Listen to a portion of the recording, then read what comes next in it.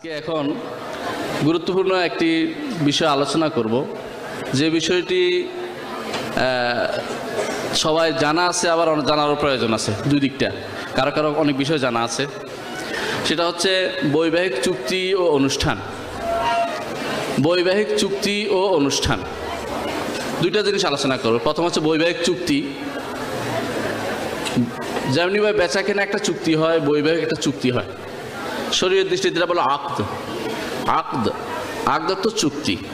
তো চুক্তি হওয়ার ক্ষেত্রে চুক্তির যেমন দুইটা সাইড থাকে, কিছু শব্দ থাকে, সেই হিসাবে বিয়ের ক্ষেত্রেও তেমনি কিছু মৌলিক কিছু রোকন বলা হয় এটাকে। মৌলিক কিছু জিনিস থাকে, যা না হলে বিয়েটা হয় না। যা না হলে বিয়ে হয় না। ছেলে মেয়ে থাকতে হবে রোকন বলো এটাকে। ছেলে, মেয়ে, দুইটা জিনিস থাকতে হবে, প্রথম রোকন। দ্বিতীয় রোকন হচ্ছে যে সিগা বা শব্দ থাকতে হবে। ছেলে, মেয়ে দুজনে বসে দুজনে কাগজের মধ্যে লিখে ফেলল যে আমরা দস্তখত করল। ইয়ার মধ্যে ওই যে কাজী সাহেব আছে না, কি বলে ওগুলিকে? যারা বিয়ের কাজী, আসল কাজী না, বিয়ের কাজী যারা। কাজের কাজী না হয়, বিয়ের কাজী বিয়ের কাজী সাহেবের, ও, কাবিন নামায় দুজনে দস্তখত করেছে। বিয়ে হয়েছে কিনা? কি বলেন? হয় নাই? ঠিক করে বলুন। হয় নাই? আসলে হয় নাই। আসলে হয় না ঠিকই বলেছেন এটা। যাক, তাহলে বিয়ের জন্য মৌলিকভাবে রোকনগুলি ঠিক রাখতে হবে। ছেলে মেয়ে মাস্ট থাকতে হবে। ছেলে মেয়ে থাকবে। সাথে সাথে ছেলে মেয়ের ইজাব কবুলের ব্যবস্থা থাকতে হবে। প্রস্তাব এবং প্রস্তাব গ্রহণ করা, দুইটা জিনিস থাকতে হবে। যদি বোবা না হয়, তাহলে ইঙ্গিতে, ইশারা ইঙ্গিতে কাজ হবে না। সুস্পষ্টভাবে সেখানে ইজাব কবুলের ব্যবস্থা থাকতে হবে, বোবা না হলে।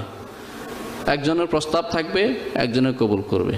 শরীয়ত এইটা গুরুত্বের সাথে নিয়েছে, গুরুত্বের সাথে নিয়েছে, কারণ আক যেটা, সেটা যে কোনো চুক্তি স্পষ্ট হতে হয়। স্পষ্ট না হলে চুক্তিটা ফাসেদ হয় বাতিল হয়। চুক্তি যদি এমন শর্তের সাথে হয়, যে শর্ত চুক্তি গ্রহণ করতে পারে না সক- সেই চুক্তিও গ্রহণযোগ্য হয় না। সেটাও গ্রহণযোগ্য চুক্তি বলে বিবেচিত হয় না। তো আমরা প্রথমেই আলোচনা করব যে রোকনগুলির মধ্যে প্রথম হচ্ছে ইজাব কবুল। একজন প্রস্তাব দিবে, আরেকজন গ্রহণ করবে। এটা ছেলের পক্ষ থেকেও প্রস্তাব আসতে পারে, মেয়েদের পক্ষ থেকেও প্রস্তাব আসতে পারে। ছেলের পক্ষ থেকে প্রস্তাব পাঠান কারোর মাধ্যমে পাঠাইলে মেয়ে যদি কবুল বলে বা মেয়ে চুপ থাকলে আমরা একটু আগে আলোচনায় শুনেছি ডক্টর মঞ্জুর এলাহির যে চুপ থাকলেও মেয়েদের জন্য সেটা কোনো কোনো মেয়ের জন্য, সব মেয়ে না, যে মেয়ের আগে বিয়ে হয়নি, সে মেয়ের জন্য সেটা গ্রহণযোগ্য। আর যদি যদি যার বিয়ে হয়েছে, তার জন্য স্পষ্ট বলতে হবে, বিয়ে গ্রহণ মানে সে কবুল করেছে কি সেটা স্পষ্ট বলতে হবে। এখানে চুপ থাকা আর মুখে বলা এটা ইজাব এবং কবুল, যে প্রথম বিয়ের ব্যাপারটা প্রস্তাব নিয়ে সেটাকে বলে ইজাব। আর যে কবুল কবুল তো আমরা এখন বাংলা বুঝি, আলহামদুলিল্লাহ। সেই হিসাবে বাংলা ভাষা বা আরবি ভাষাতে এটাকে বলা হয় জেওয়াজ, নেকা, এই শব্দগুলি ব্যবহার করা হয়। বাংলা ভাষায় এর প্রতিশব্দ যেটাই ব্যবহার করবেন, প্রত্যেক এলাকাতে যেটা ব্যবহৃত হবে সেটা ব্যবহার করলেই বিয়ে সংশোধিত হবে। কারণ একটি কায়দা ফিকিয়া আছে, Islamic, maxim maxim of Islamic law, সেখানে বলা হয় আল মারুফ ওরফান কাল মাসরুতে শর্তান। আল মারুফ ওরফান। মানে প্রচলিত নিয়ম যেটা যদি শরীয়ত বিরোধী না হয়, সেটা গ্রহণযোগ্য বলে বিবেচিত হবে। কোনো এলাকায় বিয়ে বলে, কোনো বেলায় শাদি বলে, কোথাও যদি আরও খারাপ কিছু শব্দ ব্যবহার করা হয় হ্যাঁ এটা আপনারা জানেন, সেগুলিও নিষিদ্ধ যদি এটাকে বিয়ে বোঝানো যায় এবং গ্রহণ করার মাত্রা সেভাবে থাকতে হয়, যেভাবে যেভাবে আলোচনা হয় সেভাবে। প্রশ্ন হতে পারে যে কি কি মাধ্যমে প্রস্তাব দিতে পারে? সরাসরি দিতে হবে না মাধ্যমে? একটু আগে আলোচনা এসেছে যে উকিলের মাধ্যমে প্রস্তাব আসতে পারে। উকিলের মাধ্যমে মেয়ের মত নিয়ে এসে বাবা বলে, ছেলেকে, আমার মেয়েকে বিয়ে দিলাম, তুমি গ্রহণ করতে পারো। সহজভাবে মেয়ে, ছেলে বলে, আমি কবুল করলাম। এটা একটা সুন্দর নিয়ম। এর বাইরে বর্তমানে যদি কেউ টেলিকনফারেন্স করে, এর মাধ্যমে বিয়ে হতে পারে। অথবা ভিডিও কনফারেন্সের মাধ্যমে বিয়ে হতে পারে। কিন্তু টেলিফোনের মাধ্যমে কি বিয়ে হবে? টেলিফোনের মধ্যে বিয়ে যদি হতেই হয়, কিছু শর্ত লাগবে। শর্ত হচ্ছে, শিওর হতে হবে যে এখানে কোনো কোনো রকমের দুই নম্বরই করা হচ্ছে না। দুই নম্বরে কি? একজনের স্বর পরিবর্তন করার সুযোগ আছে। টেলিফোনে মেয়ে বুঝে না ছেলের স্বরকে। এই এদের সাথে দেখা হয়নি কোনোদিন জীবনে। এই শব্দ সে শুনেও নেই। আরেকজন বলল, বিয়ে হয়েছে। এরকম বিয়ে হওয়ার পরে, দেশে আসার পরে অনেকের মৃত্যু হয়েছে, আপনারা শুনেছেন। টেলিফোনে বিয়ে হয়েছে, দেশে আসার পরে শুনে নাই। দেখে যে তা আসলেই তার আগের স্বামী আছে, শুধু টাকার জন্য বিয়ে করেছে টেলিফোনে। এরকম অনেক কিছু হয়েছে। সেই জন্য বিয়ে, এরকম বিয়ে হওয়ার জন্য কিছু শর্ত আছে। তার মধ্যে একটি হচ্ছে যে অলি দুই পাশে, দুই অলির অনুমতি থাকতে হবে এখানে মাস্ট প্রথমেই। আর শাহেদাইন দুই পক্ষে সাক্ষী থাকতে হবে, দুই পক্ষে, যে এরা ঠিকই এই ব্যক্তি। এরা নির্দিষ্ট ব্যক্তি, এদের কোনো নকল করা হয়নি, কোনো এদের বয়স নকল করে অন্য কেউ সেখানে অংশগ্রহণ করেনি, এরকম শর্ত সেখানে পূরণ হতে হবে। এর বাইরে, কোনো রকমের শর্ত বাদে শুধু শব্দ দিয়ে সে তার টেলিফোনের বিয়ে গ্রহণযোগ্য হবে না। শুধু শব্দ দিয়ে টেলিফোনের বিয়ে গ্রহণযোগ্য হবে না। আচ্ছা। বিয়ের যে, প্রথম যে আলোচনাটা আমরা করলাম, বিয়ে শুরু হয় কিন্তু ইজাব কবুলের মাধ্যমে। কিন্তু বিয়ে সুইজাব কবুল হওয়ার যখন কথাবার্তা আলোচনা হয়, ইজাব এবং কবুল হবে, তখন কিন্তু খোতবা হয়, খোতবা। খোতবা একটা, খেতবা একটা। খোতবা এবং খেতবা। আমরা খোতবা অর্থ কি? ভাষণ। ইমাম সাহেব আজকে খুতবা দিলেন। কি ইমাম সাহেব খেতবা দেন নাই। খেতবা হচ্ছে বিয়ের প্রস্তাব দেয়া। আর খুতবা হচ্ছে ভাষণ দেয়া। তো খেতবা যে বিয়ের প্রস্তাব, সেটা আলোচনা হয়েছে আলোচনা আসলো, গেল। কিন্তু বিয়ে যখন পড়ানো হয়, বিয়ে যখন আলোচনা করা, তখন এর আগে রসুল্লাহ সাল্লাহ সাধারণত কোনো বড় কাজ হলে সেখানে খুতবাতুল হাজা পড়তেন। বিয়ে যেহেতু একটা গুরুত্বপূর্ণ কাজ, সেখানে খুতবাতুল হাজা পড়া সুন্নত।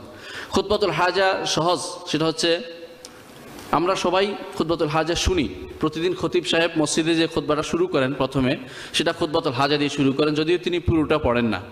সেটা হলো, আলহামদুলিল্লাহ আস্তাইন ও আস্তাগফিরু আউযু বিল্লাহি মিন শুরুরি আনফুসিনা মিন সাইয়্যাতি আ'মালিনা। মান ইয়াহদিল্লাহু ফালা মুদিল্লা লাহু ওয়া মান ইউদ্লিল ফালা হাদিয়া লাহু। ওয়া আশহাদু আল্লা ইলাহা ইল্লাল্লাহু ওয়াহদাহু লা শারীকা ওয়া আশহাদু আন্না মুহাম্মাদান আবদুহু ওয়া রাসূলুহু। এরপরে তিনটি আয়াত। তিনটি আয়াত না, তিন জায়গা থেকে মূলত ছয়, চারটি আয়াত পড়তে হয়। ইয়া আইয়ুহান, প্রথম হচ্ছে সূরায় সূরায় নিসা প্রথম আয়াতটা ইয়া আইয়ুহান নাস তাকু রাব্বাকুম আল্লাযী খালাকাকুম মিন নাফসিন ওয়াহিদা ওয়া খালাকা মিনহা যাওজাহা ওয়া বাথা মিনহুমা রিজালান কাসীরান ওয়া নিসা ওয়াত্তাকুল্লাহ আল্লাযী তাসাআলুনা বিহি ওয়াল আরহাম ইন্নাল্লাহা কানা আলাইকুম রাকিবা এরপরে ইয়া আইয়ু- ইয়া আইয়ুহাল্লাযীনা আমানু তাকুল্লাহা হাক্কা তুকাতি ওয়া লা তামুতুন্না ইল্লা ওয়া আনতুম মুসলিমুন এরপরে সূরা আহজাবের সূরা আহজাবের দুটি আয়াত পড়তে হয় 22 এবং 21 এবং 22 নম্বর আয়াত।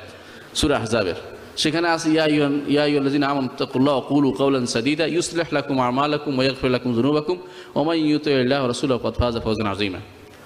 এই আয়াতগুলি সাধারণত সুন্নত। কেউ যদি না পড়ে, তার বিয়ে হবে না এরকম নয়। কিন্তু এটা হচ্ছে সুন্নত, এটা বরকত। রসুল্লাহ সাল্লাহ আসলাম গুরুত্বপূর্ণ জিনিসে বিয়ের আগে তাকওয়ার শিক্ষা এখানে দিয়েছেন এবং মানুষগুলি সব একজন থেকে আসছে। মানুষের একক সত্তা থেকে মানুষ যে উৎসাহিত হয়েছে সেই জিনিসটা। এখানে উল্লেখ করা হয় যাতে করে একে অপরের প্রতি সৌহার্দ্য এবং সম্পর্ক বৃদ্ধি পায় সেটা এখানে স্মরণ করিয়ে দেওয়া। সাথে সাথে যদি বিয়ের কারণে কি কি নসিহত করা দরকার, সেগুলিও নসিহত করার একটা সুযোগ সেখানে পায় এক, একজন খতিব বা একজন অভিভাবক, তিনি বিয়ে পড়ানোর সাথে সাথে নিজে স্বামীকে অথবা অর্থাৎ ছেলেকে অথবা মেয়েকে নসিহত করার একটা সুযোগ, সুবর্ণ সুযোগ যখন থাকে, সারা জীবন তারা কীভাবে চলাফেরা করবে, সেই সেই সময়টুকু তারা, সেই সময়টুকু তারা কাজে লাগিয়ে দুই খতিব, তিনি এদেরকে কিছু একটা পরামর্শ দিতে পারেন। বিয়ের বিষয়টা যেমনিভাবে দুইটি জিনিস আলোচনা করলাম, একটি হচ্ছে ইজাব কবুল লাগে, তেমনিভাবে লাগে কি? বলে বললাম যে খতবাদ যা সুন্নত, সেটা দেয়া। সাথে সাথে প্রচার বিয়ের প্রচারটা খুব জরুরি। রসুল্লাহ সাল্লাহ সাল্লামের হাদিসে আসছে যে বিয়ের প্রচারটা যে দফ হলেও তোমরা এলান করো দফ দিয়ে হলেও তোমরা বিয়েকে এলান করো। সুতরাং আয়লেন নেকে আসছে, কোনো কোনো বর্ণা আসছে, দফ দিয়া জানানোর কথা হাদিসে আসছে। তো দফ কি? দফ হচ্ছে ডোল। এক পাশে খোলা ডোলকে বলা হয় দফ। দুই পাশে না, এক পাশে দিয়ে পিঠে পিঠে খোলা। এই জন্য দফ বাজায়, আরব দেশেও এখনও দফ বাজে বিয়েতে। আমার দেশে কেউ সানাই বাজে। তো সানাই তো গান বাজে সমস্যা ওইখানে সানের সাথে। তো দফ বাজানো বিয়ের জন্য, এলানের জন্য জরুরি। চুরি করে কোনো বিয়ে হয় না। চুরি করে কোনো বিয়ে হয় না। মূলত বিয়ের জন্য, এবং এই জন্য ইমাম মালিক রহমতুল্লাহ আলাই সুদ, সাক্ষ্য শর্ত না করে এলানকে শর্ত করেছেন। উনি সাক্ষ্য শর্ত করেন নাকি এলান হলে তো সাক্ষ্য হয়ে গেল। মানে প্রচার করা হলে সাক্ষ্য বহু লোক হলো। কিন্তু অন্য নেই আমরা বলেন যে না, সাক্ষী থাকলে এলানটা হলো সুন্নত এলানটা ওয়াজিব নয়। কিন্তু এলানটা ওনার নিকট, ইমাম মালিক রহমতুল্লাহ এলান মানে জানিয়ে দেয়া, মানুষকে ঘোষণা দিয়ে জানিয়ে দেয়া, বিয়ে হচ্ছে, এটা অবশ্যই ওয়াজিব। এটা এই জন্য জরুরি, বর্তমানে আমি কয়েকটা জিনিস আলোচনা করব। কিছু কিছু মানুষ আছে, ঢাকা শহরে বেকার থাকে, চাকরি করে, দিনের বেলা, দিনের বেলার জন্য বিয়ে করে। এরকম বহু আছে। মাঝে মাঝে প্রশ্ন উত্তর দেয়, ওরা একান্তে ফোন করে যে আমার এখন বিপদ। কি বিপদ? বিয়ে করেছিলাম গোপনে, জেনে ফেলছে বড় বউ। এরকম বহু সমস্যা। তাদের উত্তর দিতে দিতে শেষ, কি করতে হবে? এটাকে আরব দেশে বলা হয় জাওয়াজ মেসিয়ার বলে কেউ কেউ, বিভিন্ন রকম। এটা ওখান থেকে যারা ছিল, যারা বাইরে, তারা হয়তো অনেকে শিখে আসছে। অথবা ইন্টারনেটের বদৌলতে এখন ঘরে ঘরে সেগুলি পৌঁছে গেছে। এর মাধ্যমে কিছু মানুষ দিনের বেলার জন্য বিয়ে, রাতের বেলার জন্য বিয়ে, চুরি করে বিয়ে, দুইজনে একসাথে বসে বিয়ে, ছাত্ররা কলেজ ইউনিভার্সিটিতে দুইজন সাক্ষী নিয়ে দুজনে বিয়ে করে এক- ধরনের হালাল করার চিন্তা ভাবনা তাদের মাথার ভিতরে আছে। হালাল কিন্তু হালাল করা সম্ভব হচ্ছে না, কারণ শরীয়ত মোতাবেক হয় নাই। চেষ্টা করেছি আর কিছু। ঠিক না? একজন ফোন করেছে আমাকে, ফোন করেছে গুরুত্বপূর্ণ যে বিয়ের মজলিস, সেখান থেকে ফোন করেছে মেয়ে যে আমি ক্যাম্পাসে যা থাকতে, আমার ইউনিভার্সিটির ছাত্রীর কথা বলছি, ক্যাম্পাস থাকতে এক ছেলের সাথে বিয়ে হয়েছে, অনেকদিন আমরা ঘর সংসার করেছি একসাথে, এখন বাড়িতে আসছি, বাড়িতে কেউ জানে না, এরা জোর করে আমাকে বিয়ে দিবে, আমি কি করব? এই জবাব কে দিবে আমাকে বলেন, আমি দিতে পারি নাই। ডক্টর মঞ্জুর আলাই একটু পরে ইনশাল্লাহ জবাব দিবেন।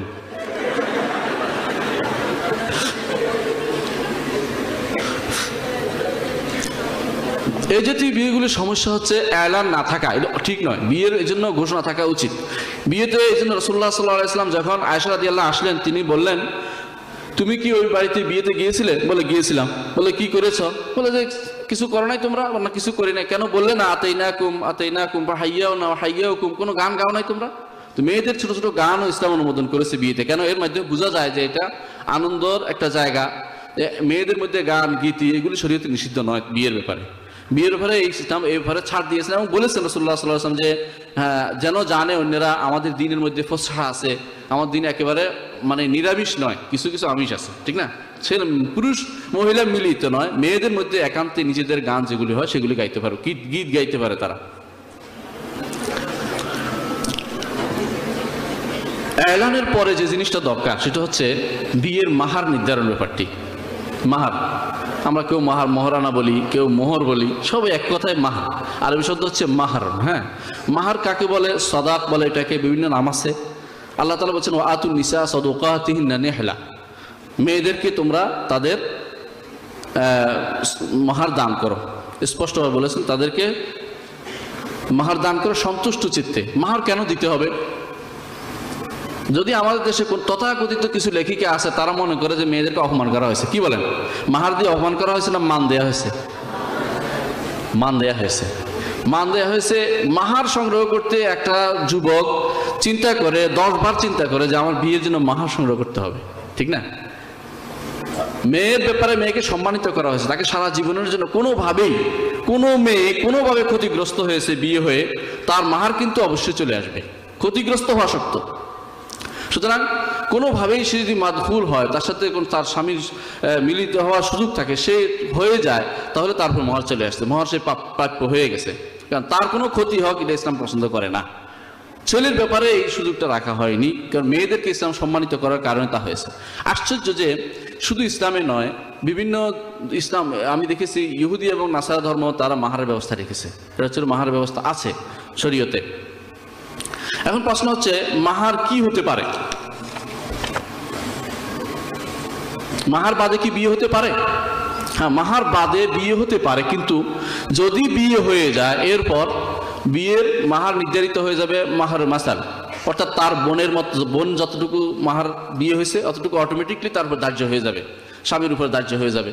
অথবা তার ফুফু, অথবা তার বোন তার সমবয়স্কা, একই কলেজ ছাত্রী, যারা যেভাবে পড়েছে সেই হিসাবে তাদের উপর অটোমেটিকলি স্বামীর উপর মাহার ধার্য হয়ে যাবে। কিন্তু যদি বলা হয়, যদি বলা হয় যে আমরা বিয়ে করলাম, কোনো রকম মাহার নাই, সেটা সেই বিয়ে বিশুদ্ধ হবে না।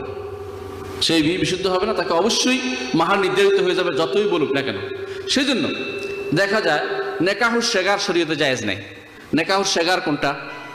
নেকাহুর শেগার হচ্ছে এটা, আপনি যদি বলেন যে আমি, কেউ বলল যে একজন আরেকজনকে, আমি তোমার বোন বিয়ে করলাম, তুমি আমার বোন বিয়ে করলে। এই শর্তে যে আমাদের, এদের মধ্যে কোনো মাহার লাগবে না। এই বিয়ে শরীয়তে জায়েজ নাই। কেন জায়েজ নাই? এখানে মেয়েকে ঠকানো হচ্ছে, ছেলেরা সুযোগ- সুযোগটা নিচ্ছে। ছেলেরা সুযোগটা নিয়ে নিচ্ছে বিয়ের, কিন্তু মেয়েরা কিন্তু ঠকে যাচ্ছে।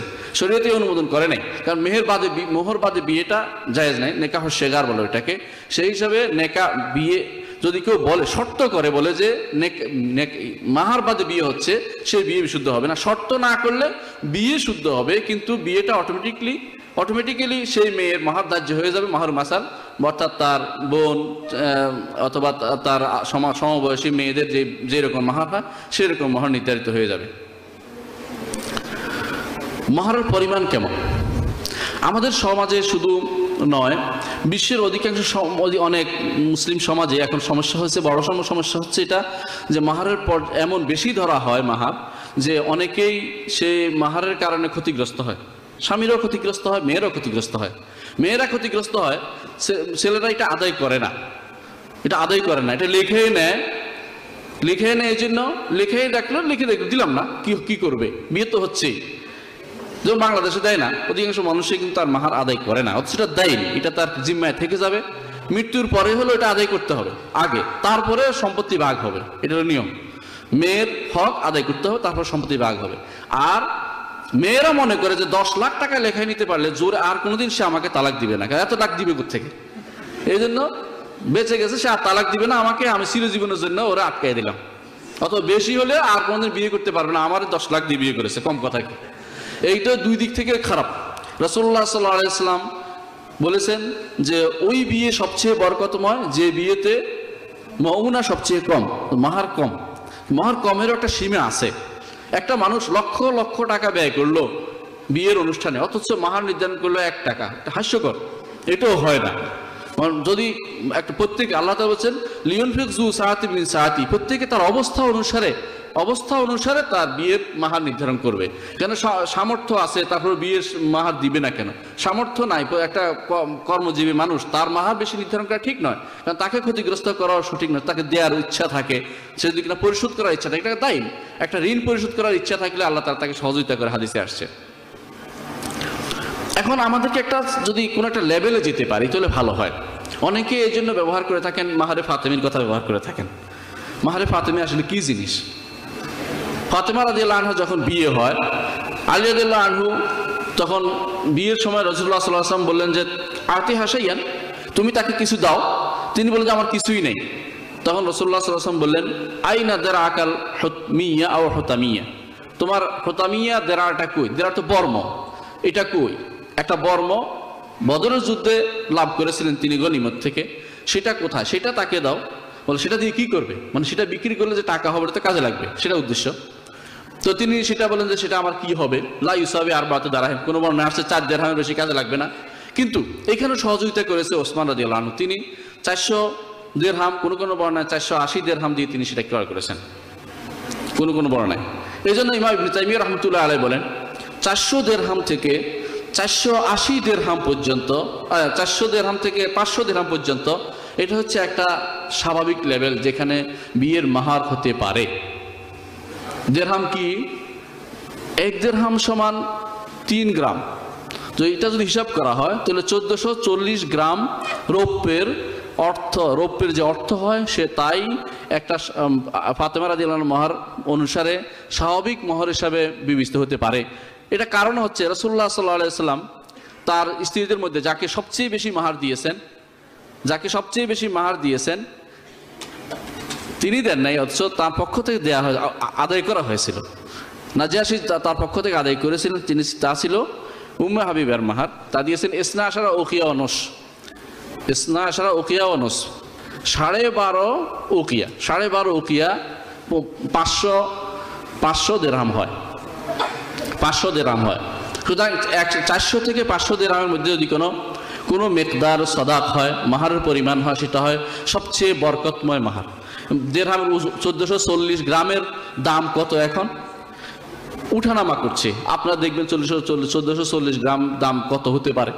কোনো সময় দেখা যায়, অথবা পনেরোশো গ্রামে ধরেন, যদি তিন পাঁচা পনেরো ধরি, পনেরোশো গ্রামের দাম কত হতে পারে? সেটা অনুসারে হলে কখনো দেখা গেছে দেড় লাখের নিচে হয় না, কখনো দেখা গেছে কমে, বাড়ে বা কখনো এক লাখের কাছাকাছি পৌঁছে যায়, এর বেশি হয় না। কিন্তু মনে রাখবেন, এটা শুধুমাত্র একটা স্বাভাবিক পর্যায়। অবস্থার পরিবর্তনে, সময়ের পরিবর্তনে সব কিছু পরিবর্তন হয়েছে। একসময় রৌপ্যের দাম স্বর্ণের কাছাকাছি ছিল। এখন সেটাও নাই। স্বর্ণ রৌপ্যের দাম সবচেয়ে কম রৌপ্যের এখন সে ব্যবহার হচ্ছে না, অথচ স্বর্ণের ব্যবহার বেশি হচ্ছে। সেই হিসাবে মেয়েদের যদি কোনো কেউ পরিবেশ পরিস্থিতি বাড়িয়ে ধরে, সেটা শরীয়তে কোনো নিষেধ নাই। আল্লাহ তারা বলছেন যে, কেউ যদি কোনো, ও আতেই তুমি এহতাহুন্না কেন্তরান ফেলা তাহুজুমিনু সাইয়া কাউকে যদি এক ট্রাক স্বর্ণ দাও, সেটা নেয়ার ক্ষেত্রে তোমার অধিকার নাই, ফেরত নিও না। মেয়েকে যা দিয়েছে তা দিয়ে দাও। কেন তার আমি ট্রাক বললাম মানে বোঝানোর জন্য মানে বড় একটা পরিমাণ।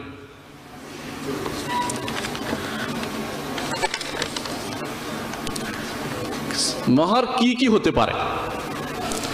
ইমা আবু রহমতুল্লাহ বলেন যে, মোহর হতে হবে মাল, মোতাকাওয়াম হতে হবে। অর্থাৎ যেই সম্পদের মূল্য আছে, এরকম সম্পদ হতে হবে।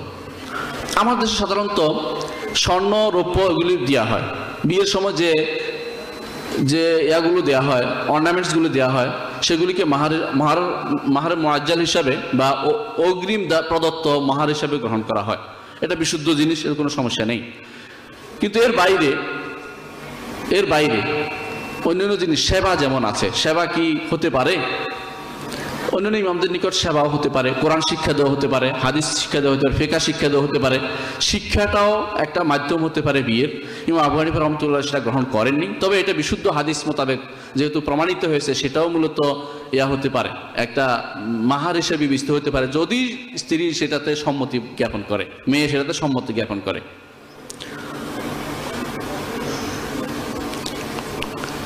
এখন, মাহার কখন সে পাবে?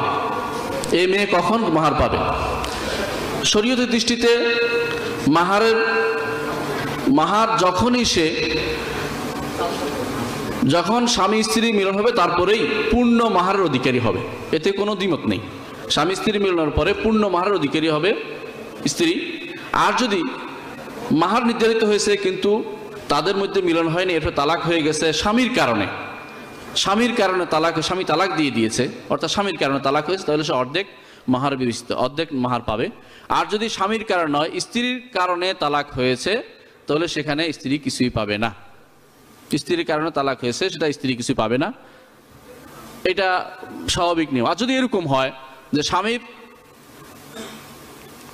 স্ত্রী, স্বামী স্ত্রীর মধ্যে বিয়ে হয়েছে, তালাক নির্ধারিত হয়নি, মাহার নির্ধারিত হয়নি, কিন্তু তাদের মধ্যে আবার মিলনও হয়নি। এমত অবস্থায় তালাক হয়ে গেলে কোনো মাহার পাবে না। সেখানে তারা পাবে উপহার পাবে। সে উপহারটা হবে এমন কাপড় যে কাপড়ে সে নামাজ আদায় করতে পারে। এই কাপড় সে, যে কাপড়ে সে নামাজ আদায় নামাজ আদায় করতে পারে, এরকম একটি পূর্ণাঙ্গ কাপড় সে পাবে। এটা হচ্ছে যদি মাহার নির্ধারিত না হয়, বিয়ে হয়, কিন্তু তাদের মধ্যে কোনো মিলন হয়নি। এই অবস্থায় শুধুমাত্র এই মাহার পাবে। মাহার আলোচনার পরে আমরা আরেক দিকে যাব। সেটা হচ্ছে পরবর্তী অনুষ্ঠান কি হয়? অনুষ্ঠান বলতে আমরা সাধারণত বুঝি। বিয়ের অনুষ্ঠান বলতে কি কি অনুষ্ঠান? অলিমা। অলিমা বুঝি। অলিমা। রসুল্লাহ সাল্লাহ সাল্লাম আব্দুর রহমান ইবনে আউফ রাজি আল্লাহকে বললেন, তিনি বললেন, তার হাতে, তার গায়ে কিছু রং দেখে ফেললেন তিনি। রং দেখার পর বললেন মাহিয়াম মানে কি খবর? মাহিয়াম মানে কি খবর? তোমার কি হয়েছে? বলে যে, আমি বিয়ে করেছি আনসারি এক মেয়েকে। বলে যে, বিয়ে করেছ? তাহলে আউলে বলাও বেশা। তুমি একটি ছাগল দিয়ে হলেও অলিমা করো। কেউ কেউ যদি বুঝে থাকেন যে শুধু ছাগল দিতে হবে, ভুল। ছাগল দিয়ে হলেও অলিমা করো, এটা বলা হয়েছে। এটা বুঝার ভুল এরকম হতে পারে। ছাগল দিয়ে হলে এখন থেকে উঁট জবে করে, গরু জবে করে, নিষেধ নেই। তো অলিমা দেওয়ার ক্ষেত্রে এই- এই সুন্নতটা আলহামদুলিল্লাহ জারি আছে, কিন্তু বাড়াবাড়িও হচ্ছে। বাড়াবাড়ি হচ্ছে যে অলিমা দেওয়ার ক্ষেত্রে যে ভাড়া করা হয়, বড় বড় হল রুমগুলো, এখানে সুন্নতের বিপরীত কাজ হচ্ছে। রসুল্লাহ সাল্লাম একটা সই হাদিস তিনি বলেছেন সর্ব তরামে তরামুল ওলিমা সবচেয়ে খারাপ খাবার হচ্ছে ওলিমার খাবার। কেন?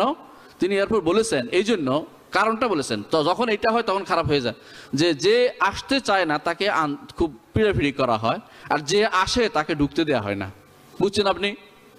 আপনাকে দাওয়াত দিলে আপনি আসতে চান না, কারণ আপনার অনেক টাকা পয়সা আছে, আসলে খরচ হয়ে যাবে সেই।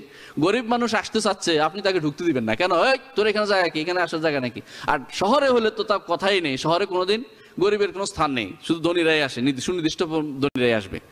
অথচ তরামুল অলিমার খাবারের মূলত প্রথম অধিকারী হওয়া উচিত গরিবদের। তারা এর মাধ্যমে এক দোয়ার, দোয়াতে সামিল হবে, দোয়া করবে, তাদের অন্তর দোয়া করবে, তাদের জন্য এক উসিলে তারা খাওয়ার ব্যবস্থা করেছে, এটা। কিন্তু শুধু বড় লোকদের জন্য এখন অলিমাগুলি হয়ে গেছে। অনেকটা সেটা আমাদের চাওয়ার বাইরে হয়ে গেছে, আমরা এটা কখনো চাই না, তাই না? শহরের যে পরিবেশ, যান্ত্রিক পরিবেশে গরিবদের আনারও সুযোগ নেই গ্রাম থেকে, আর তারাও খেতে পারবে না। এর বাইরে আর কি অনুষ্ঠান হতে পারে? অনুষ্ঠানের পরে কিছু জিনিস আছে, বিয়ের সাথে সংশ্লিষ্ট কিছু শর্ত আছে। যেগুলি কিছু জায়েজ শরীয়তে অনুমোদন করে, কিছু অনুমোদন করে না। যদি বিয়ের যে চাহিদা, সে চাহিদা পূরণের জন্য শর্ত, বিয়ে অর্থ হলো বিয়েটা এরকম, বিক্রি করার মতো না। যেমন, আপনি একটা গরু কিনলেন, পরের দিন বাজারে বিক্রি করতে পারবেন, ঠিক না? কোনো সমস্যা নেই। কিন্তু আজকে বিয়ে করেছেন, এটা আর ছাড়ার কোনো সুযোগ নাই। স্থায়ী জিনিস। যেই জিনিসটা স্থায়িত্ব বোঝায় না, এরকম কোনো শর্ত হলে সে বিয়ে শুদ্ধ নয়। স্থায়িত্ব দেয় না, এরকম কোনো শর্ত থাকলে সে বিয়ে শুদ্ধ নয়। কিন্তু স্থায়িত্ব পেতে পারে, ইচ্ছা করলে এরকম শর্ত করতে পারে। যেমন কেউ যদি বিয়ে করে যে আমি বিয়ে করে, বিয়ে বিয়ে বসছি, কোনো মেয়ে দিয়ে শর্ত দেয় যে আমাকে হারামাইন থেকে বের করা যাবে না, এই শর্ত দেয়া তার পক্ষে জায়েজ এবং বৈধ এবং সেটা করতে পারে, বলতে পারে, কোনো সমস্যা নেই। যদি এটাও বলে যে আমি বিদেশ যাব না, এই শর্তে বিয়ে করছি তাহলে মেয়ের, এই শর্ত যদি মেনে নিয়ে স্বামী বিয়ে করে, স্বামীকে এই শর্ত অবশ্যই পূরণ করতে হবে। এই শর্ত অবশ্যই পূরণ করতে হবে। যদি এই শর্ত বিয়ে করে যে আমি কাজ করতে পারব না, বিয়ে করে বলেছে যে আমি কাজ করতে পারব না তোমার, শর্ত আগেই করেছে, খেয়াল করেন, পরে করলে হবে না। হ্যাঁ আগেই করেছে যে আমি কাজ করব না, যদি স্বামী এই শর্ত মেনে নিয়ে বিয়ে করে, স্বামীর ঘর করার কাজ করার জন্য সে বাধ্য নয়। এই শর্তগুলি অনুমোদিত, শরীয়তে একে বাধা দেয় না। কিন্তু কিছু জিনিস আছে শরীয়তে বাধা দেয়। যদি বলে বিয়ে করেছি, তুমি আমার কাছে আসতে পারবে না, এই শর্ত শরীয়ত অনুমোদন করে না। যদি বলে যে বিয়ে করেছি, তবে হ্যাঁ বিয়ে করেছি, তবে কিছু দিনের জন্য, এটাকে বলা হয় নেকা মোয়াক্কাত। আমি এক সপ্তাহের জন্য বিয়ে করেছি, এটা শরীয়ত অনুমোদন করে না। এক সপ্তাহের জন্য বিয়ে শরীয়ত অনুমোদন করে না বা এক মাসের জন্য অনুমোদন করে না। অথবা বিয়ে করেছি, নেকা এটা বলে মোতা। একটা কিছু দিলাম হ্যাঁ এক হাজার টাকার পরিমাণ সময়ের জন্য আমি তোমাকে বিয়ে করেছি। এটা মোয়াক্কাত। মোতা একসাথ হয়ে গেছে, সেটাও শরীয়ত অনুমোদন করে না। রসুল্লাহ সাল্লাহ ইসলামের প্রথম রসুল্লাহ সাল্লাহ প্রাথমিক যুগে, ইসলামের প্রাথমিক যুগে তিনি সেটাকে অনুমোদন করেছেন। পরবর্তীতে সেটা খাইবারের যুদ্ধে মতান্তরে মজুদ খাইবারের যুদ্ধে মতান্তরে বিদায় হজ মক্কা বিজয়ের দিন তিনি সেটাকে হারাম করেছেন এবং কেয়ামত পর্যন্ত এই বিয়ে হারাম। এই বিয়ে হারামের পিছনে একটি কারণ হচ্ছে, একে কেউ কারও দায়িত্ব নেয় না। এটা এক ধরনের বেবিচারের মতো। কেউ কারও দায়িত্ব নেয় না। শরীয়ত একসময় যেটা করেছিল তখন সেখানে মানুষের খুব সমস্যা ছিল, সমস্যাগ্রস্ত অবস্থা ছিল। সেখানে সমস্যাটা উত্তরণের জন্য সেটা করেছে। বর্তমানে আলহামদুলিল্লাহ এই সমস্যাগুলি নাই এবং সে উত- সে উঠানোর কোনো সুযোগ নেই সেটাকে।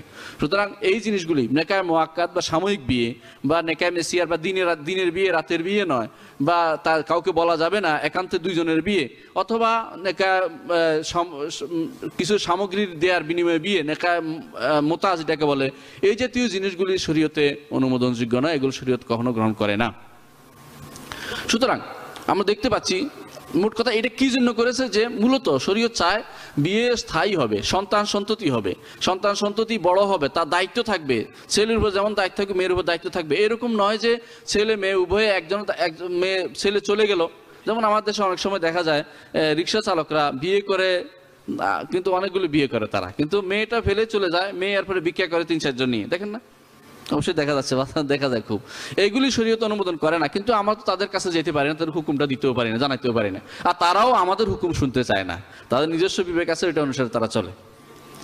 সুতরাং শরীয়ত এমন জিনিস চায় না, যেটাতে কোনো, আপনি অনেক কিছুই অনেক কিছুই আপনার আপনার মনে থাকতে পারে। কিন্তু শরীয়ত দেখতে চায় এটা, যে যদি এটা শরীয়তের নিয়মের সাথে মিশে, তখন সেটা গ্রহণযোগ্য হবে। যদি শরীয়তের নিয়মের বাইরে চলে যায়, যে এটা যে উদ্দেশ্য বিয়ে, সেটা হচ্ছে সন্তান সন্ততি হওয়া, বড় করা, পরিবার গঠন করা, এর বাইরে যখন চলে যাবে, সেটা শরীয়ত- অনুমোদন করে না। একটা জিনিস আছে নেকা বেনিয়তি তালাক বলা ওইটাকে। অর্থাৎ কেউ মনে মনে রাখছে, বলে নাই। বিয়ে করেছে হ্যাঁ? বড় বিয়ে করেছে, মনে মনে আছে যে তালাক দিয়ে চলে যাবে। এই জাতীয় বিয়ে যায় বৈধ কিনা? এই জাতীয় বিয়ে বিয়ে বৈধ হবে, কিন্তু এর কারণে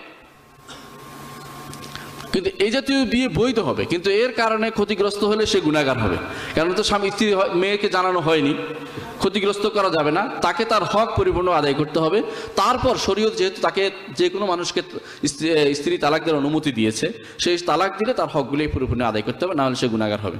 সোহানাক আল্লাহ আহমদিকে আসাদুল্লাহ নাস্তাফর কোয়াতবিলাই আমরা সংক্ষেপে চেয়ে বাইরে বাড়ানোর সুযোগ নেই। আমরা ইনশাল্লাহ প্রশ্ন উত্তর দিকে যাচ্ছি। প্রশ্ন হচ্ছে স্ত্রী কি চাইলে দেনমোহর ক্ষমা করতে পারবেন অথবা পরে দেয়া যাবে? হ্যাঁ মাহার দুই রকমের হয়। একটা মাহার দেনমোহর যেটা বলছেন, সেটা মাহার ইচ্ছা করলে স্ত্রী অগ্রিম সবটাই চাইতে পারে এবং বলতে পারে, ততক্ষণ দান মাহার আমাকে পুরোপূর্ণ পরিশোধ করা না হবে। ততক্ষণ কাছে আসতে, গেস্টে দিতে না দেওয়ার অধিকার স্ত্রীর রয়েছে। যেমনিভাবে দ্বিতীয় অধিকার রয়েছে এটা যে, স্ত্রী তাকে স্বামীকে ক্ষমা করে দিতে পারে। আল্লাহ তালা এটা বলেছেন, আও ইয়ারফুনা বিয়া আও ইল্লা ইয়ারফুনা, আও ইয়ার, আও ইয়ারফুল্লাজি বিয়াদি রক্তাতুন নিকাহ। সেই হিসেবে ক্ষমা করার অধিকার তার রয়েছে। আল্লাহ তালা অন্য আয়তে বলেছেন যে, ফাকুলু হানিয়া মারিয়া, ফাইন তিবনালা কুমান শাই ইমিন নাফসান, ফাকুলু হানিয়া মারিয়া। তারা যদি মনে করে যে, সব অংশটুকু আমার স্বামীকে আমি দিয়ে দিলাম, বেশি খুশি হয়ে গেছে স্বামীর উপরে, এমন খুশি হয়ে গেছে, সব দান করে ফেলছে। সেটাও সে দিতে পারে। কিন্তু পরবর্তীতে আফসুস করে, স্বামী তখন দ্বিতীয় বিয়ে করছে, কেন মাফ করে দিলাম? সুতরাং খুব বেশি খুশি না হয়ে সাবধানে মেয়েদের যেমন আগানো উচিত আর ছেলেদেরও উচিত। ঠকবাজি করে সালাকি করে, মরে গেলাম, আমাকে কেমনে দিব এসে করে কান্নাকাটি করে উঠছে। মাপ মাপ নেয়ার মেয়েদের থেকে যে প্রবণতা আছে, সেটা একটা হারাম প্রবণতা না জায়েজ প্রবণতা, এটা ঠিক নয়। বরং তার ব্যক্তিত্ব নিয়ে বড় হওয়া উচিত যে মাহার যতটুকু ধরেছে, অতটুকু দেওয়ার চিন্তা ভাবনা আছে। তুমি যত, এখন যা পেয়েছ পেয়েছ পরেটা বাকি দেওয়া বাকিতে আমি বাকিটা দিয়ে দেবো। পরেও সেটা দিতে পারবে, কোনো সমস্যা নেই। তবে শর্ত হচ্ছে, যদি না দিতে পারে সেটা কিন্তু জিম্মায় রয়ে গেল। সে স্বামীর তারেকা থেকে, তারেকা অর্থ ছেড়ে যাওয়া সম্পদ থেকে আগে ভাগ বন্টনের আগে, সম্পদ ভাগ বন্টনের আগে তার সম্পদটা সে বুঝে নিতে পারবে। এতে শরীয়তে কোনো বাধা নেই। এটা নিতে হবে তাকে, জি। অনেক বন্ধুর মাহার হিসেবে গহনা দেখা হয়। এইসব গহনা তাদের বিক্রি করার বা কাউকে উপহার দেওয়ার অধিকারে শ্বশুরবাড়ি দেয় না। এক্ষেত্রে এই বন্ধুদের করণিক তাদের কি এর উপর জাকাত দিতে হবে? সুন্দর প্রশ্ন। এই গহনা অবশ্যই অবশ্যই মেয়ের নিজস্ব সম্পদ। যদি বিক্রি করতে চায়, তার বিক্রি করার ক্ষমতা আছে, সে এবং জাকাত দিতে হলে যদি জাকাত মতো হয় জাকাতের মতো হয়, অর্থাৎ সাড়ে সাত বড়ির উপরে হয়, এবং সেটা নিত্য ব্যবহার্য না হয়। আমি যেটা ফতোয়া দিটা আমি বলছি, অন্যদের থেকে অন্য মাসলা শুনে নেবেন। নিত্য ব্যবহার্য না হয়। নিত্য ব্যবহার্য হলে জাকাত নেই, আর নিত্য ব্যবহার্য না হলে কিছু মাঝে ব্যবহার করে রেখে দেয় সম্পদের আশায়। সেই জন জিনিস হলে তাকে সেটা নিজের সম্পত্তি থেকে জাকাত দিতে হবে। যদি না দিতে পারে, কেউ যদি আদায় করে দেয়, আদায় হবে। স্বামী যদি তাকে সহযোগিতা করে, সেটা হবে। কিন্তু জাকাত ওয়াজিব হবে মূলত মেয়ের উপরে কারণ সম্পদ তার। সম্পদ তার নিজের। যেহেতু সম্পদ তার নিজের, পরিপূর্ণভাবে এটা মাহার তার অংশ, কোনো কেউ বাধা দিলে সে বাধা গ্রহণযোগ্য হবে না। সে বাধা গ্রহণযোগ্য হবে না। যদি বাধা দিয়ে নিয়ে যায়, তাহলে স্বামীর কাছ থেকে সে পুরো পুরো অঙ্ক দাবি করতে পারে। যে অঙ্ক, যে এই অঙ্ক আমার, মাহার ছিল, সে পুরো অঙ্ক আমি আবার দাবি করছি। যেহেতু এটা আমার থেকে তুমি নিয়ে গেছো, জোর করে।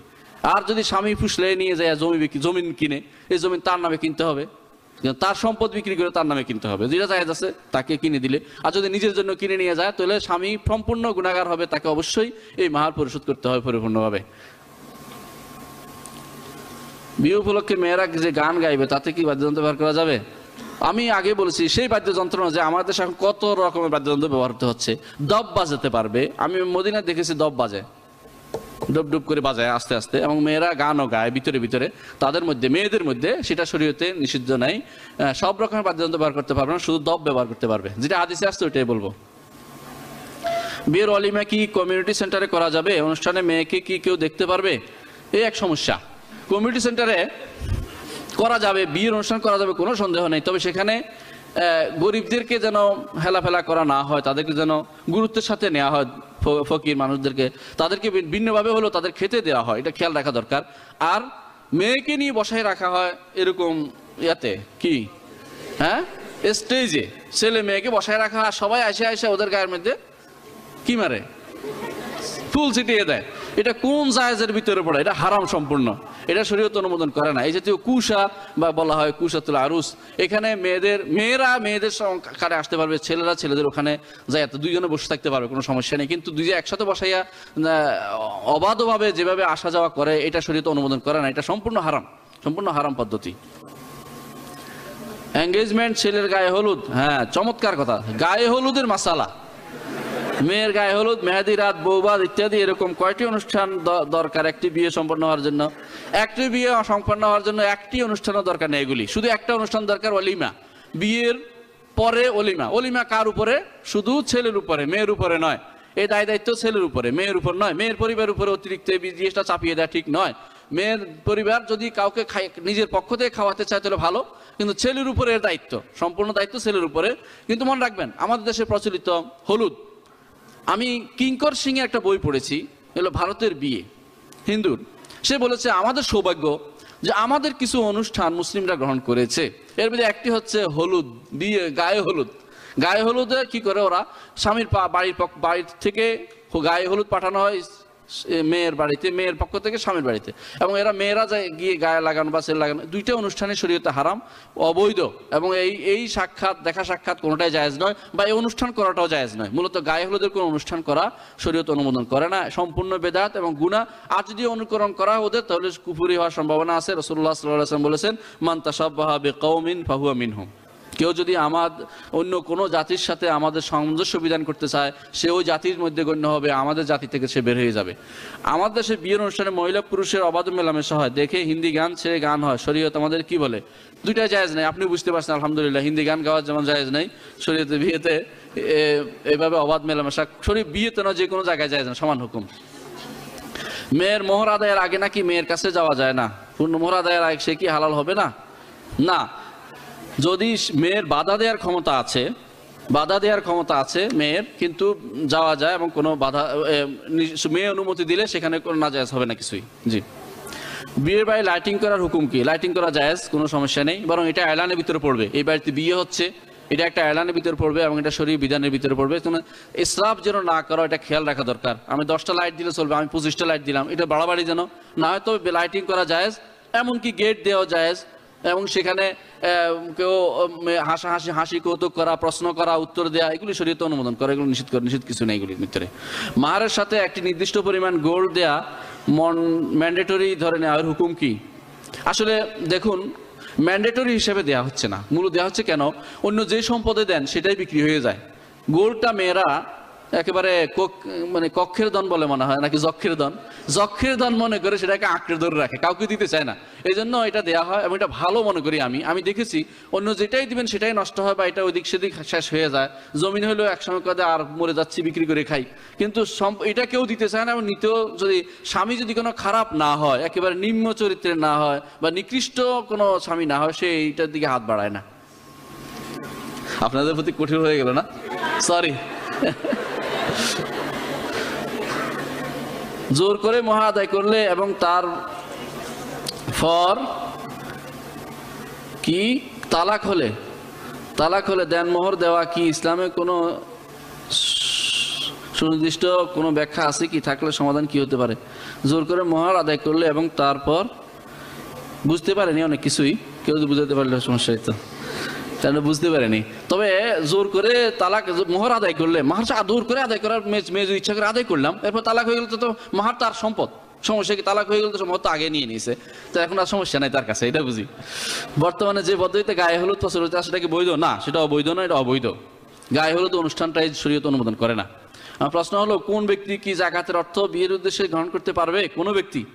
হ্যাঁ জাকাতের উদ্দেশ্য জাকাতের অর্থ বিয়ের উদ্দেশ্যে গ্রহণ করতে পারবে পারবে। তো ওই ব্যক্তি যে ব্যক্তির আর কোনো কিছু নাই। ফকির। ফকির দিয়া ফকির যদি কোনো বিয়ে বিয়ের জাকাতের অর্থ গ্রহণ করে ফিসাবিল্লার খাত থেকে, এবং সে যদি বিয়ে করে, সেটা যদি স্ত্রীকে না বলেন, তো ছোট হয়ে যাবে, ঠিক না? তাহলে এই বিয়ে করতে পারবে। আমার মনে হয় এটাতে কোনো নিষেধাজ্ঞা নেই। জি। বিয়ের খোদবা কে দিবে? ছেলে নিজে বা অন্য কেউ? না, বিয়ের খোদবা অন্য কেউ দিবে। যারা ঘটকালি করবে, তারা দিবে। নিয়ম, যদি না একটু আগে আলোচনা, যদি না পারে, নিজেও দিতে পারবে, কোনো সমস্যা নেই। মার নির্ধারণ আমাদের সমাজে একটা জিনিস কেনা বেচার মতো ব্যবস্থায় পরিণত হয়েছে। অনেক সময় বিয়ের মজলিস উত্তপ্ত হয়ে ওঠে, তখন দুপক্ষ মার নির্ধারণ অনেক সময় মহার অনুমতি অথবা সায়ের উপর সিদ্ধান্ত নেয়। এই অবস্থা হুকুমটা কি? দেখুন, এমন এক জিনিস মাহার, সেখানে একটু টানাহেসা হবেই। এটা সব ফেরিস্তা চরিত্রের মানুষও বসে নাই। আর এটা টানাহেসা হওয়াটা ভালো লক্ষণ। যদি বলা হয় যে হ্যাঁ দশ লাখ দশ লাখ রাজি হয়ে গেলাম, মনে মনে আছে দিব না, এটা আর খারাপ।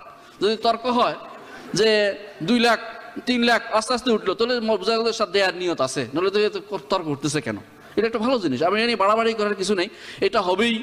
সব কিছুতে আপনি মনে করছেন যে কোনো কথা না বলে নির্দ্বিধায় বিয়ে হয়ে যাবে, নির্দ্বিধায় সব কিছু হবে, এটা না। এই সামান্য থাকলে কোনো সমস্যা হয় না। এটাকে কেনা বেচার পণ্য হিসেবে না নিয়ে, এটাকে সম্মানের পণ্য হিসেবে নেন, যে আমার মেয়ের সম্মান আছে বলেই দাম উঠতেছে। সমস্যা কি? আর ছেলে মনে করতে পারে যে আমার দেওয়ার ক্ষমতা কতটুকু আছে, তারা হয়তো পরীক্ষা করতেছে। দেখি আমি কত দিতে পারি। তাও তো ভালো। এটা নিয়ে আর মনে হয় তেমন কিছু নেই। এই কেনা বেচার সাথে সম্পৃক্ত করা, এটা অনেকের কাজ। আমি দেখেছি, একজন লিখেছে, তথাকথিত লেখিকা, এটা লিখেছে বিয়ে শাদির এই যে মাহার ব্যাপারটা, এটা গরু বেচা কেনার সাথে তুলনা করেছে। এগুলি আমরা না বলি। শরীয়তের হুকুমের সাথে আমরা সম্পৃক্ত থাকি। অনেক সময় ছেলেপক্ষ আমাদের সমাজে বিয়েতে মেয়েকে সাজানোর জন্য যে অলংকার দেওয়া হয়, তা মাহারের অংশ, উসুল বলে অনেক সময় ঘোষণা দেওয়া এটা কি জায়েজ? অবশ্যই জায়েজ। সামনে এমনি কেউ দেয় নাকি? এটা অবশ্যই মাহারের অংশ হিসেবে দেয়। আপনি এত খুশি হয়ে উপহার দিছে আপনাকে মনে করতেছেন? বিয়ে বাদে কেউ কে আর উপহারটা দেয়? আমাদের দেশের বিয়ে অনুষ্ঠানে দেখা যায়, উকিল নিয়োগ দিয়ে তার মাধ্যমে বিয়ে দেওয়া হয় আর তার কতগুলো শরীয়ত সম্মত? উকিল নিয়ে উকিল নিয়ে জায়েজ আছে? কোনো সমস্যা নেই। শরীয়তে সব জায়গাতে ওকালত সিস্টেম আছে। এখানেও জায়েজ আছে। তবে উকিল হতে হবে উকিল সরাই। শরীয়ত অনুমোদিত উকিল। মেয়ের কাছে কে যেতে পারে? বাবা, ভাই, বড় ভাই বা ফুফুয়া, ফুফা, খালু, এরা যেতে পারে। ওরা দু ইয়া নিয়ে আসে নিয়ে আসে, তার অনুমতি নিয়ে আসে, খোঁজখবর নিয়ে আসে আরও মানুষ সমস্যা নাই, যেখানে মাহারাম থাকলে আর কি। স্থায়ী মাহারাম সরি স্থায়ী মাহারাম যে তাদের অনুমতি নিয়ে নিতে পারে, কোনো সমস্যা নেই। উকিল হিসেবে তারা বিয়ের মতামত নিয়ে আসতে পারে মেয়ের, এতে কোনো বাধা নেই। মেয়ে পক্ষ থেকে জোর করে যৌতুক নিলে নাকি বিয়ে শুদ্ধ হয় না, একটু জানাবেন। বিয়ে শুদ্ধ হবে, টাকাটা ফেরত দিতে হবে। যৌতুক কেন দেয়? আমি যৌতুক দেওয়ার একটা বিরাট কারণ পেয়েছি। সেটা হচ্ছে, শরীয়তের দৃষ্টিতে যে অধিকার পিতারা লঙ্ঘন করেন, পিতারা আল্লাহর কাছে দায়ী হবেন। একজন পিতা নয়, শত শত পিতা সমাজে মেয়েদেরকে কোনো কিছুই দেয় না। সব সম্পত্তি, আমি প্রশ্ন উত্তরের মধ্যে বুঝি ইয়াতে ইসলামিক টিভিতে। দেখি যে সব প্রশ্নই আসে এরকম, আমার পিতা আমাদের কিছুই দেয় নাই, সব ছেলেদের লিখে দিয়েছেন, তিনি হজে গেছেন, তার হজ হবে কিনা? আমার তার হজ হবে, তার হজ হবে না এটা আমি বলব না, তবে সে আখরাতের জন্য জাহান্নাম ক্রয় করে নিয়েছে। কারণ হলো এই সম্পদ মেয়ের অধিকার বেশি। মেয়েরা সন্তান পিতা মাতাকে সবচেয়ে বেশি দেখে। আমি নিজে পরীক্ষিত, আমি নিজে দেখতে পারি না আমার আব্বা আম্মাকে।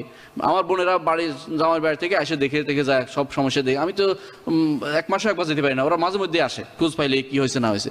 মেয়েরা পিতা মাতাকে সবচেয়ে বেশি দেখে। অথচ আমাদের সমাজের ভাইরা এক খারাপ, জোর করে সিগনেচার নেয়। আর বাবারা আরেক খারাপ, তারা পিতাকে, সন্তানদেরকে দিয়ে দেয়। এই জন্য যে সন্তানরা আমার দেখছে, মেয়েরা দেখে নাই। আরে মেয়েরা দেখার সুযোগ কোথায়? দেখার জন্য তো তোমার সম্পদ নয়। তোমার সম্পদ হচ্ছে শরীয়ত মোতাবেক তুমি খায়ে চলে যাবা, শরীয়ত মোতাবেক আল্লাহ তালা বন্টন করার ব্যবস্থা করেছেন। আল্লাহ যেভাবে বন্টন করে সেভাবে মেয়েরা পাবে, ছেলেরা পাবে। এটা নিয়ে বাড়াবাড়ি করার কারণে আগে থেকেই ছেলেরা মনে করে মৃত্যুর পর তার কিছু পাবো না, আগে থেকে নিয়ে নেই। এই জন্য শুরু হয়ে গেছে ইয়ার ব্যব- ইয়ার ব্যবস্থা কি যৌতুকের অবস্থা। সুতরাং এই যৌতুক থেকে বাঁচতে হলে শরীয়তের গণ্ডিতে আমরা যদি ফিরে আসি, শরীয়ত অনুসারে চলি, দেখবেন যে যৌতুক কথা উঠে গেছে এবং কেউ এটা এটাতে চাচ্ছে না। আরব দেশে এখনও যৌতুক নাই নাই তো? আকবার, আমাদের এখানে যৌতুক এত বেশি আসলো কেন? আমরা আল্লাহ শরীয়ত মেনে চলি না বলেই। আল্লাহ শরীয়ত মেনে চলি, দেখবেন ইনশাল্লাহ যৌতুক কথা উঠে যাবে। মানুষ চিন্তা করবে যে অনেকে তো বিয়ের কারণ, আমাদের ডক্টর বলেছেন একটু আগেই, বিয়ের কয়েক কারণে হয়, এর মধ্যে একটি আসলে জামালিহা, ওলে দিন ইহা ওলে মালিহা বলে হাসাবিহা। চার কারণে, একটি কারণে হচ্ছে সম্পদের কারণে মানুষ বিয়ে করে। আল্লাহ রসুল সাল্লাহ ইসলাম বিয়ে করেছেন খাদিজা রাজি আল্লাহ আনহাকে। তার সম্পদ ছিল বলেই। এ তো অসম্ভব কিছু নেই, সুন্দরী ছিল সম্পদ ছিল, বিয়ে করেছেন। এমনি নাজাইজের কিছু নেই, সম্পদ দেখে বিয়ে করতেই পারে। কিন্তু এই যদি কোনো সম্পদের অবস্থাতে সম্পদ থাকে বাবার কাছে বাবা যদি সবটা মেরে দেয়, তো আগে নিয়ে নিতে চিন্তা করে মানুষ। সুতরাং এই জন্য সম্পদের সঠিক সুষম বন্টন, শরীয়ত মোতাবেক বন্টন যদি হয়, নিয়ম শৃঙ্খলা মেনে চলা হয়, তাহলে আমার দেশে যে বর্তমান যে কঠিন অবস্থা যাচ্ছে বা যৌতুকের যে ছড়াছড়ি যাচ্ছে, সেটা অবশ্যই উঠে যাবে এবং মানুষ সঠিকভাবে চলতে শিখবে ইনশাআল্লাহ। সুবহানাকাল্লাহু ওয়া বিহামদিকা, আশহাদু আল্লা ইলাহা ইল্লা আনতা, আস্তাগফিরুকা ওয়া আতুবু ইলাইক। আসসালামু আলাইকুম রাহমাতুল্লাহি ওয়া বারাকাতুহু।